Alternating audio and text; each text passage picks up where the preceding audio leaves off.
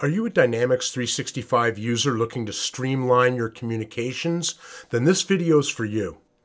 Are you tired of wasting valuable time copying and pasting the same email contents into your Outlook every time you need to send a message?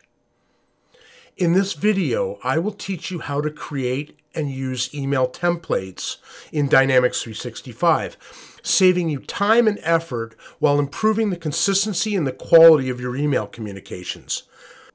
Get ready to take your productivity to the next level with the Dynamics 365 email templates. So the first thing we're going to do is navigate up to the little gear at the top of the uh, menu bar. Come into Advanced Settings. Navigate up to the top. And we're going to come to templates.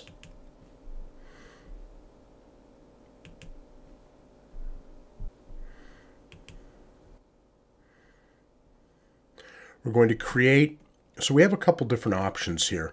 We can create a template globally that can be used across multiple entities. In this case, I want to create one specifically for the leads area.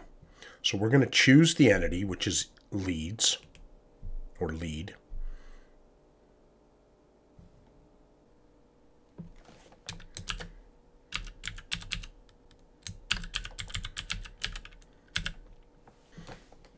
We're going to make this an individual, but we could choose it for the organization. In this case, I'm going to have my own. We could put a description in, and we can start putting a subject in for the follow-up email. This is the body of the email down here. So we're going to start off by adding a subject. So I'm going to uh, just type in a subject here. So thanks for stopping by our booth at and we can insert some dynamic text.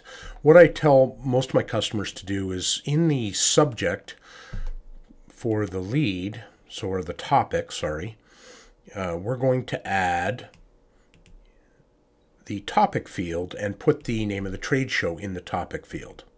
Next, we're going to navigate down to the body, and we're going to insert the body.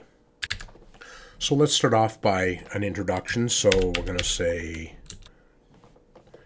dear, and then we're going to we're going to insert a dynamic text. So we're going to say from the lead, we want to insert the first name. Okay, we've got the first name, insert it, space, and we're going to insert the last name. Put a comma, and now maybe two uh, one, uh, one actually a half space. So shift enter, and we're going to grab the body of the text from a Word document that I typed out earlier. Okay, now we have all different fonts and stuff, so we want to make sure that we get our fonts correct. So we're going to choose a different font, and we're going to make that an 11. We want to make sure that our paragraphs are correct. And we could correct our grammar a little bit here. Now we have a the body of our email. All we need to do at this point is save and close it. And we can go test it. We're going to move up to the top of the page and insert a template.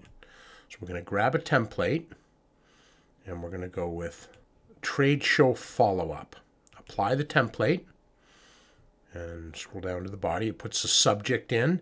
It'll put in the topic from the lead and it'll put in all of the body for us.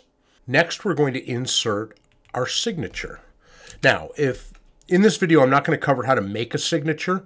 What you can do is uh, there'll be another video in my in the tips and tricks area that you can go to for how to create a signature for your email. But we're going to come in and we're going to insert a signature that I've already created. So we're going to use that guy's signature.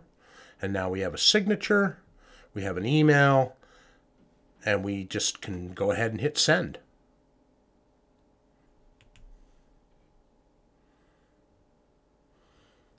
So that will end up in my timeline that I've sent them an email.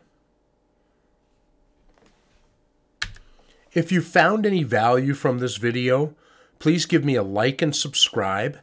And uh, feel free to drop into the channel and take a look at some of the other tips and tricks videos, uh, including how to make a signature, which will be there as well.